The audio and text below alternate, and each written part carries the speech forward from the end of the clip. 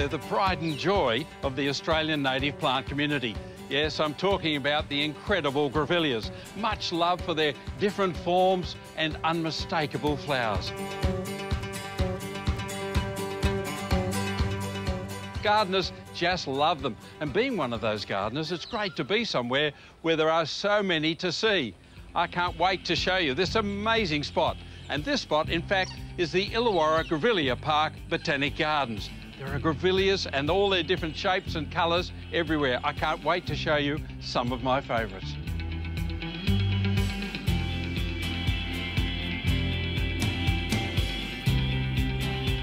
Ray, it, it is a great collection. Do you know how many varieties of grevilleas you've got? There'd be three or four hundred at Really? least, yeah, yeah. That, that includes the hybrids and the species as well. yeah. We're still, after all these decades, still learning. Like here with Bulli Beauty, Yeah. that come up here as a seedling. Um, I tried that for, took me nearly over 10 years before I said, yeah, that was good enough for the market. Right. And now it's roughly one of the, one of the great cut flowers. Yeah. Cut flowering. Well, the, cut, yeah, the florists just love it. That's right. They say in all the books, you know, after finished flowers, give it a trim, but they never stop flowering. So what do you do, a, a light trim, or will they take that heavy prune? A lot of people have these lovely grevilleas in their yard and they're going up there and they say, what'll I do? Yeah, moonlight, for example. Moonlight. Moonlight goes up there. Five, five, six, seven Okay. metres.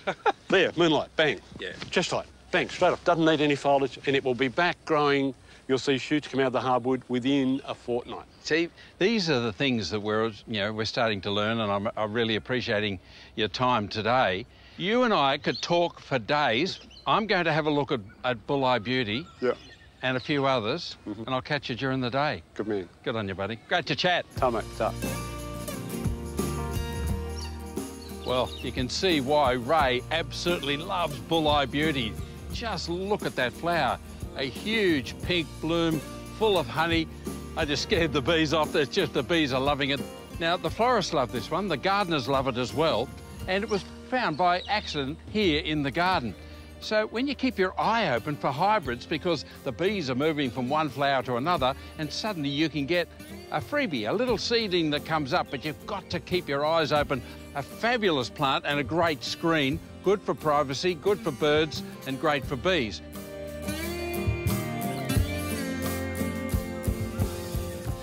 Another reason why this garden is so important, because it has a collection of really rare species from out in the bush.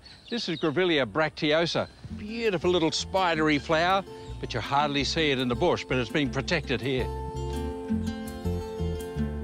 But there are ground covers as well. Look at this fellow here. If you're going to grow one of these ground cover grevilleas, give it plenty of room on an embankment, plant it right back in the middle so it can grow to the edge of the garden and really display this horizontal growth. And notice the flowers are quite different. These are what we call sort of toothbrush. They're not cylindrical, they're little toothbrushes with all the colour and the stamens sticking upright. Beautiful thing. Now, if you don't have room for a ground cover, why not buy a standard? Many decades ago, Ray and others around the country were grafting grevilleas, the ground cover ones, onto these standards.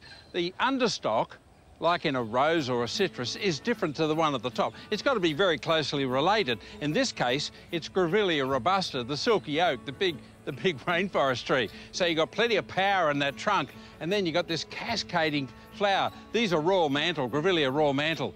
As an ornamental in a pot, in a tub, in a lawn, it's just giving us a, a completely different look at an Australian native plant. If you keep your eye open, you can strike gold. And that's what Ray did with that little seedling that suddenly popped up that became Bulli Beauty. Well, there's another way that new plants can suddenly appear, and it's what we call sports or mutations. It happens on quite a few plants, but it doesn't happen that often. This is lime spider. Now, I know not everybody likes variegated foliage, but this is gold dust. This is a, an absolute gold rush. And in a hedge or a wall or a screen, I think lime spider is hard to beat.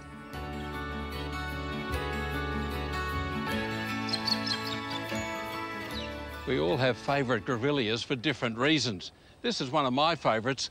It's called Grevillea leucopteris, and I see it when I'm touring through WA looking at wildflowers with my groups. And suddenly you come across way out in the middle of nowhere in WA these incredible forests of it. It's also not only known as Grevillea leucopteris, but its common name is smelly socks, because that's what the flower smells like. But the flower, well, it starts out in this beautiful pink bud, then it gradually turns to green, and then opens right up to this beautiful creamy plume of flower. Smelly socks. it's a cracker, a beauty.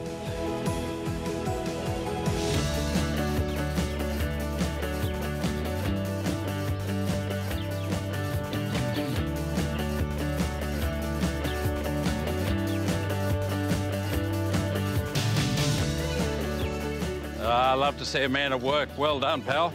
Oh, wow. There he is. You got a new garden going in here. Can I give you a hand with this? Yes, sure we can. Now, you've planted, Yep. obviously, thousands and thousands of plants here. You had great success, so show me how you do it. Okay, this is how we do it. Now, you want some water crystals in here for a start. Only about that much? Yeah. Can I add a little bit of water into that? You can do. Okay. You tell me when to stop. That'll do. Right. Get a couple of handfuls of that into the bottom. Okay. Now, this is a wetting agent, uh, not water crystals. We've already got those in the hole. This encourages water to go deep down into the roots. What do you got next? This is a slow release fertiliser. How much would you like in there? Handful on the bottom and a handful on the mound of dirt. Okay. Handful in the soil. So you're really preparing this plant beautifully. Right. Okay. Now we're going to fill that hole full of water. Okay. I'll turn that off. Okay. Thanks, Ray. You've got to have a moist hole to plant into. If it's dry, don't think you can plant it and then water later.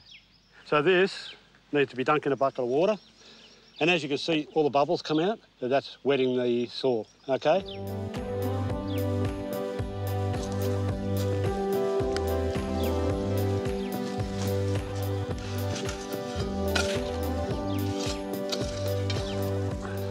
You'll notice that Ray has created a saucer around it. Home gardeners and landscapers, pay attention. You young lot. The other trick then is to actually put your foot in there and squash it down. That means that the air's not going to get in there and dry it out. Yeah. That's really important. You know, there's a misunderstanding that native plants like it dry. Well, ones out in the desert do, but the rest come from forest country, and they like, especially when you're planting them, they like to have some moisture around the roots. For their first 12 months, don't forget to water them. And especially during the summer and the hotter months, you need to water them once a week. Not wet, keep them just moist. And you'll have success like Ray's had here in this beautiful garden. Look at that. As you say, in flower in no time at all.